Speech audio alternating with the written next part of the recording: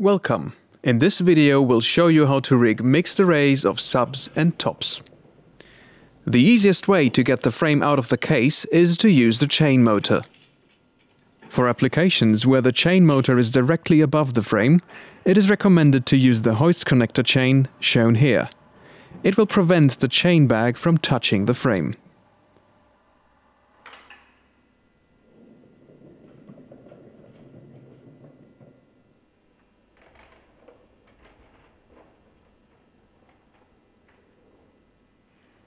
Place the subwoofer on the ground and prepare its front links for connection to the flying frame.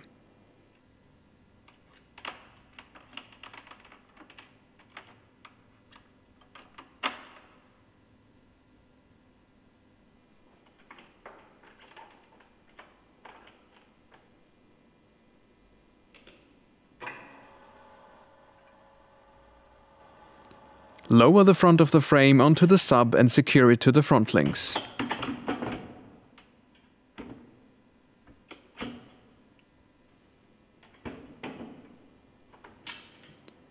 The splay link needs to be connected next. However, its attachment point to the frame depends on whether it's used with tops or with subs. In this case, it needs to be moved to the rear mounting point, which is the appropriate one for subs.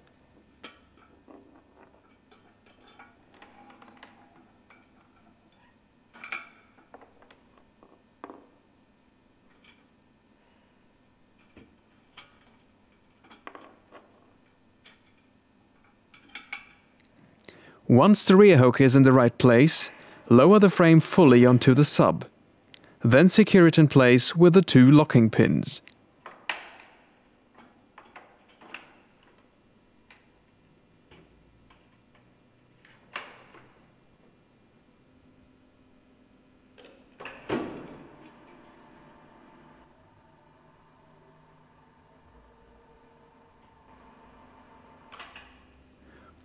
To mount tops on the subs, an additional flying frame is required.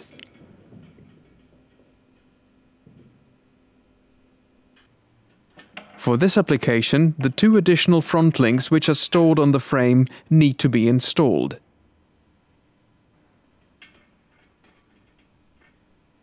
Be mindful of the proper orientation of the front links.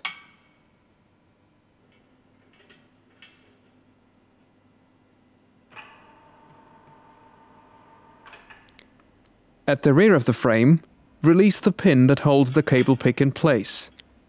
Release the rear link of the sub and attach it to the frame with two pins.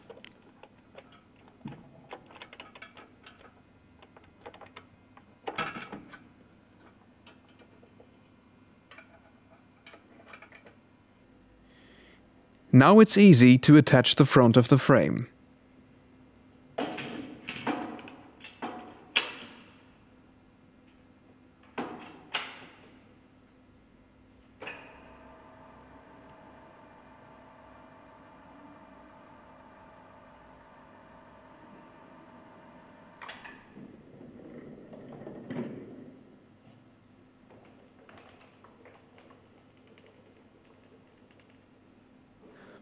To mount the pre-configured line array boxes, first attach the front links.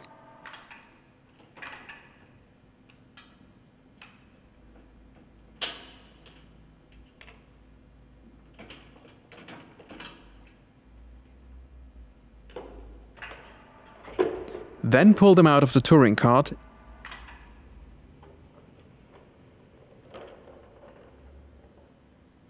and insert the safety pins into the lower three boxes.